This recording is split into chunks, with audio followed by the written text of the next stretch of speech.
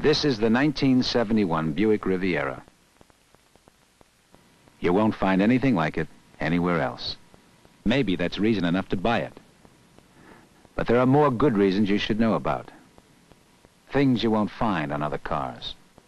Like AccuDrive. A new suspension system that gives Riviera the most stable ride it's ever offered. And this interior.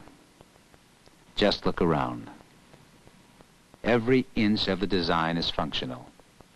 For instance, that control center, it wraps around you, making every instrument visible at a glance.